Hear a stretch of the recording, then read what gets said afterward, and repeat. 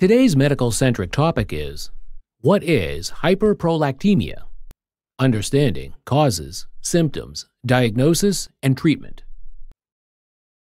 Hyperprolactinemia is a hormonal disorder characterized by high levels of prolactin, a hormone responsible for milk production in breastfeeding women. While it primarily affects women, men can also develop this condition. Hyperprolactinemia can be caused by various factors and may lead to a range of symptoms. In this video, we will explore what hyperprolactinemia is, its causes, common symptoms, methods of diagnosis, and available treatment options. 1. Definition and causes. Hyperprolactinemia refers to the presence of abnormally high levels of prolactin in the blood. It can be caused by several factors, including prolactinoma.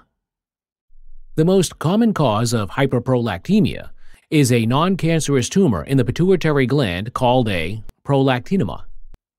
These tumors produce excess prolactin, leading to elevated levels in the bloodstream. Medications Certain medications such as antipsychotics, antidepressants, and medications used to treat high blood pressure can increase prolactin levels. Hypothyroidism. An underactive thyroid gland can disrupt the normal balance of hormones, including prolactin. Stress and other factors. Stress, sleep disturbances, and chronic kidney disease can also contribute to elevated prolactin levels. 2. Symptoms and the individual's gender. Common symptoms include irregular menstrual periods or absence of menstruation, amenorrhea, in women. Milky discharge from the breasts unrelated to breastfeeding. Infertility or difficulty conceiving. Decreased libido and sexual dysfunction. Erectile dysfunction and impotence in men. Breast tenderness or enlargement in both men and women. Osteoporosis, thinning of the bones, in severe cases. 3.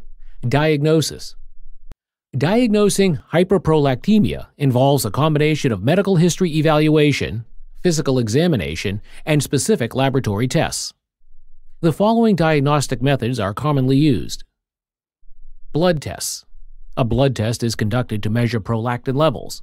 Elevated prolactin levels above the normal range indicate hyperprolactinemia. Imaging studies. An MRI or CT scan may be recommended to assess the pituitary gland and detect the presence of any tumors or abnormalities. 4. Treatment The treatment approach for hyperprolactinemia depends on the underlying cause and the individual symptoms and goals. Common treatment options include Medications Dopamine agonists are typically prescribed to lower prolactin levels and shrink prolactinomas. These medications help restore normal hormone balance and alleviate symptoms. Surgical intervention. In cases where medication is ineffective or if there are large tumors causing significant complications, surgery may be required to remove the tumor. Management of underlying conditions. If hyperprolactinemia is caused by another underlying condition, such as hypothyroidism, treating that condition may help normalize prolactin levels. Hyperprolactinemia is a hormonal disorder characterized by elevated levels of prolactin in the blood. It can be caused by prolactinomas, certain medications, thyroid dysfunction, stress, and other factors.